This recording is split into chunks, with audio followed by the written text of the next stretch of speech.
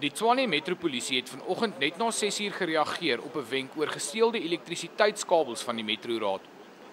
Beamptes het op die kabels beslag gelê en een verdagte is in hegtenis geneem. Uh, the other one suspect ran away. Uh, the suspected cable that we found in possession or inside the truck, the street value is estimated at about 500,000 uh, and the repair value of those cable at the substation, it might cost the city about 1.5 million.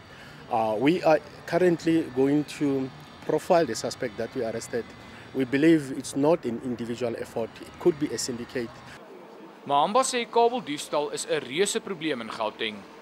Loss uh, in the financial year, it amounts to over 500 million between the three cities, that is Joburg, Tshwane and Ekurhuleni. Die Metroraad sê hy gaan toeslaan op skrootwerwe wat die kabels onwettig koop. Die Tshwane burgemeester het reeds daarop gehamer dat kabeldiefstal die stad lam lê en die metropolisie se kabeldiefstal eenheid gaan nou bykomende hulpbronne kry om die skuldiges vas te trek.